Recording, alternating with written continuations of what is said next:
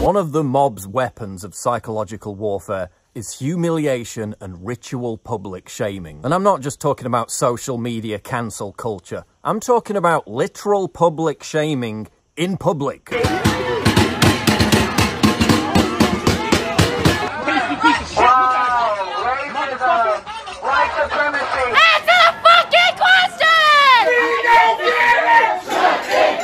Wouldn't it be chilling if the exact same tactics used by the Red Guards during the psychological terror campaign of China's Maoist Cultural Revolution were being used today? Yes, it would.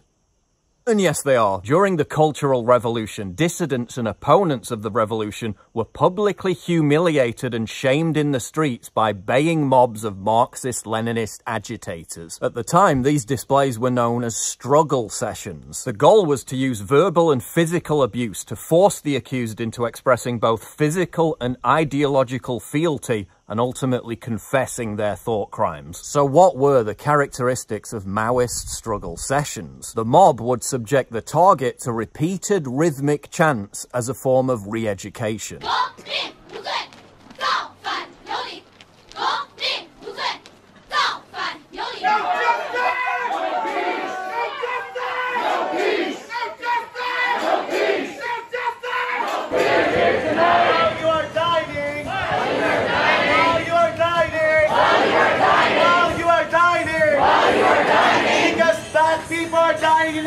police! Because black people are dying in the hands of the police! Black people are dying in the hands of the police! Black people are dying in the hands of the police! The mob would force the target to kneel, which is another form of ritual public shaming.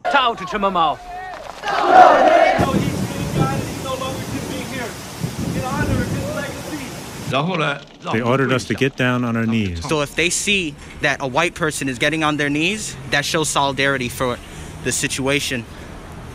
The situation. And could you just please apologize for, you know, for your white privilege? Just apologize? I am. Oh, here it is, right here. There you go. This is the white man. Get these white women. They forced my parents to kneel. No, no, no, no, no, no, no.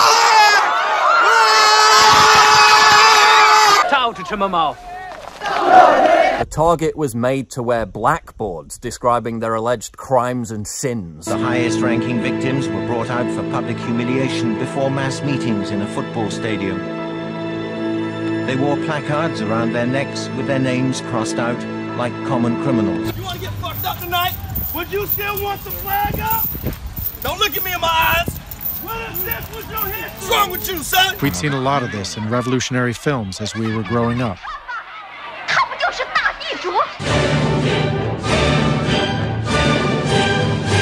Target who professed their innocence, maybe by refusing to conform to groupthink and mob intimidation, was regarded by the Maoists as the most guilty. Confess your crimes!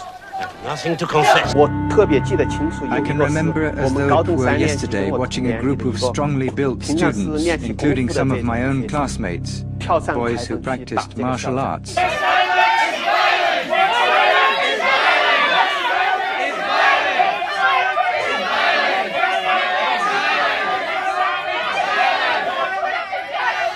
That black trans lives matter. That black trans lives matter. We ask you to raise your hand up in the air. We ask you to raise your hand up in the air. In solidarity. In solidarity. In solidarity. In solidarity. Of all black and brown. Of all black and brown. Murdered by the police. Murdered by the police. Mao keep taught us they have to receive the re-education. We demand you. We demand you. I really wanted to beat him because I felt such hatred. The past was still too close. Look, look what they're doing. Look at this.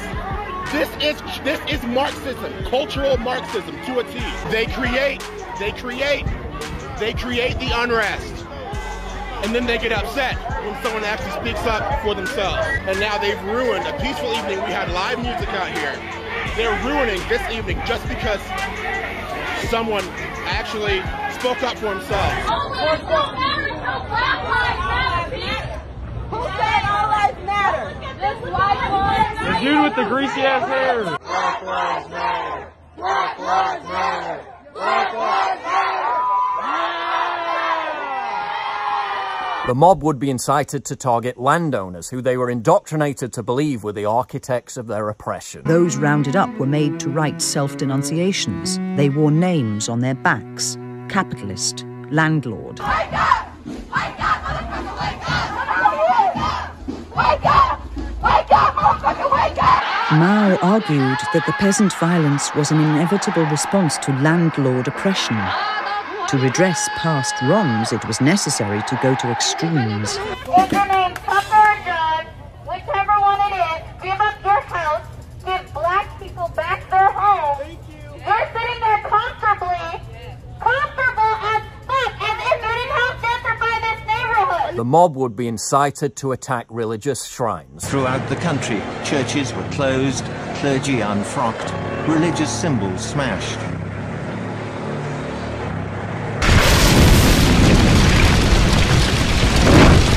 Temples and shrines were ransacked. Despite official designation as cultural treasures,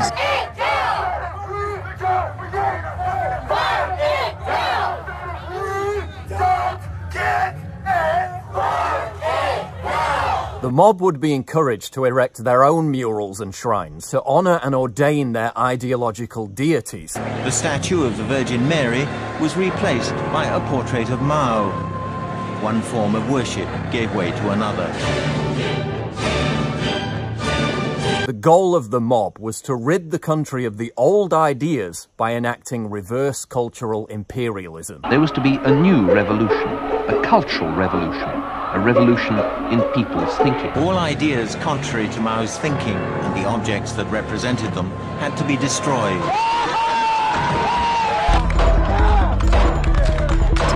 Many irreplaceable objects were destroyed. Instance fall from grace.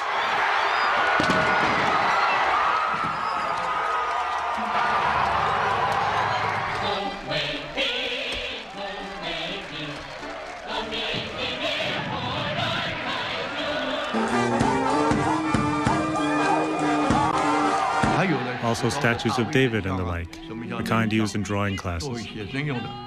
The rebels were full of themselves. They struck poses as they smashed everything.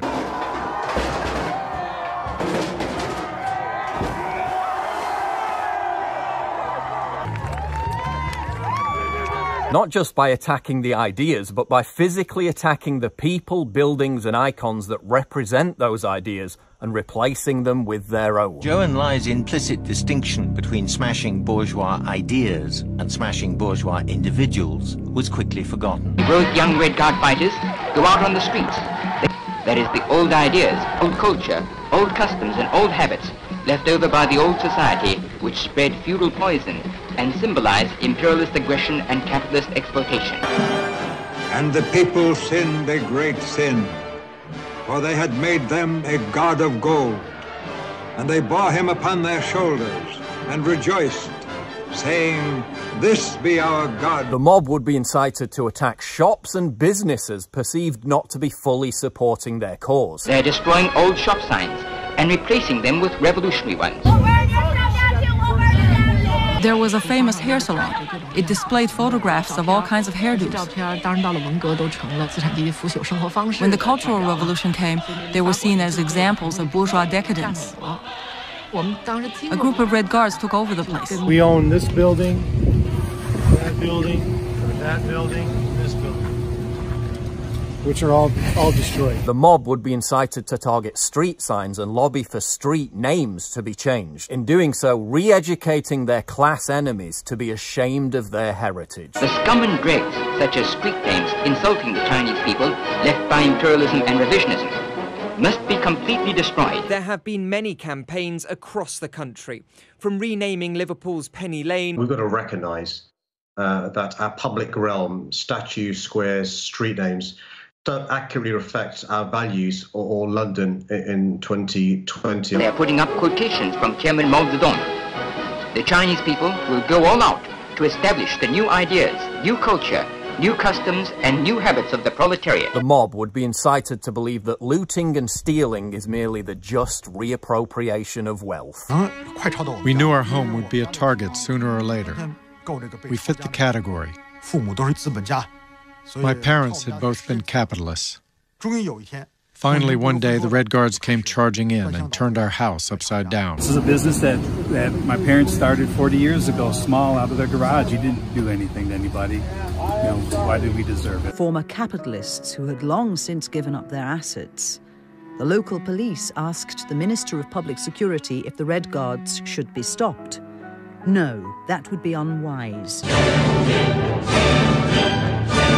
Now, I'm not saying that the activities of BLM have reached anywhere near the level of terror dished out by the Red Guard. But I'm starting to notice some similarities. Victims of the Maoist Cultural Revolution were not just publicly shamed for their beliefs, they were executed for them. Of course, that would never happen in America, would it? One person wearing a Patriot prayer hat was shot and killed in Portland last night. He was a fucking Nazi! Our community held its own! And took out the trash. Dissidents and thought criminals who refused to cave to the mob were also taken to re-education gulags. Of course, that would never happen in America, would it? They also believed that their immediate responsibility would be to protect against what they called the counter-revolution. And uh, they felt that this counter-revolution could best be guarded against by creating and establishing re-education centers in the Southwest. Uh, where we would take all the people who needed to be re-educated into the new way of thinking and teach them how things were going to be. I ask, well, what is going to happen to those people that we can't re-educate, that are die-hard cap capitalists? And the reply was that they'd have to be eliminated. And when I pursued this further, they estimated that they would have to eliminate 25 million people in these re-education centers. And when I say eliminate, I mean kill. 25 million people. I want you to imagine sitting in a room with 25 people, most of which have graduate degrees from Columbia and other well-known educational centers, and hear them figuring out the logistics for the elimination of 25 million people. And they were dead serious. In 1984, George Orwell described the two minutes of hate, which was akin to public shaming training for the citizens of Airstrip 1. The rage that one felt was an abstract, undirected emotion, a shaming ritual which could be switched from one object to another like the flame of a blow lamp. Just as BLM agitators are able to switch their rage on a whim, from targeting a senator to a diner to an old woman, all seen as being born with original sin because of their skin colour. The object of ire could be anyone, writes James Panero. What matters is the display of denunciation and the pitiless scorn that must be arbitrarily shown. The impact of public shaming is also reflected in political polls. In the case of both Brexit and Donald Trump, the polls got it spectacularly wrong. Part of the reason for that was because voters were reluctant to tell pollsters their actual voting preference. Whatever the strength of their private beliefs, public shaming had made people ashamed of expressing support for Brexit Brexit or Trump. Expect that phenomenon to be repeated in 2020. Ritual public humiliation struggle sessions were happening in China right up until 1978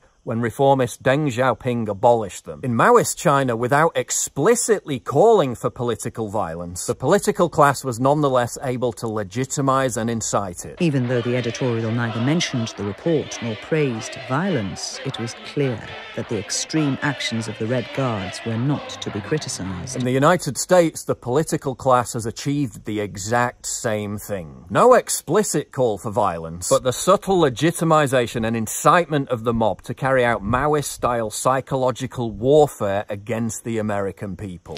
I, I, I, just don't even know why there aren't uprisings all over the country, and maybe there will be. People need to start taking to the streets. This is a dictator. You know, there needs to be unrest in the streets for as long as there's unrest in our lives. Enemies of the state. Show me where it says that protests are supposed to be polite and peaceful. So I'd take you behind the gym and beat the hell out of them. Punch some people in the face! And if you see anybody from that cabinet in a restaurant, in a department store, at a gasoline station, you get out and you create a crowd. And you push back on them. And you tell them they're not welcome anymore, anywhere. And now the same political class is using the threat of that same mob to intimidate Americans into voting them into power. History doesn't repeat, but it often rhymes.